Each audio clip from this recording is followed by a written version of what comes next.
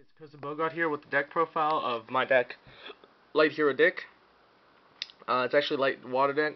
I'll go through the extra first. I play 3 Elemental Hero The Shining. Oh, this is really bad. 3 Elemental Hero Absolute Zero, 3 Elemental Hero Great Tornado, and 3 Super Alloy Beast Raptinus. I will probably be playing this deck after the release of um, Legendary Collections 2. So, yeah, here's the deck list. Play 1 Stratos, uh, 3 Alius is the main hero engine.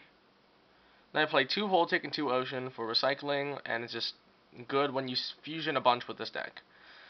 Play 3 um, Crusader of Endymion because it's a light and it's a Gemini. It works with Super Alloy, which is also a light. Um, 3 Thunder King Rai-Oh for the stun, the light, 1900 beater. I play 3 Snowman Eater because it's like it's it's a Ryko that doesn't pay for cost. I'll destroy something, mill 3, and it's a water, so you can synchro your Ab-Zero. Next, I play 3 emergency calls since I do play 8 heroes. 1 ROTA for heroes calling, yeah, pretty. I also play 3 Miracle Fusion and 3 Parallel World Fusion and 3 Fusion Gate because this is all the synchroing here, or fusioning here. It's crazy synchro fusion spam with Fusion Gate because of all the things in your hand you keep adding with these.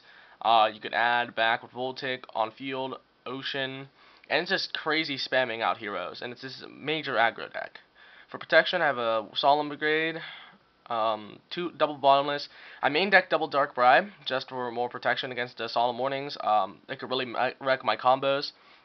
And three dimensional prison for the Stardust and plays like that. So I hope you guys like this deck. Hope you guys can copy it, play it, uh, test it out on Dueling Network. Uh, me as a friend on Dueling Network so I could duel you on there. And that's pretty much it. Hope you enjoy. Keep on subscribing. Peace out, YouTube.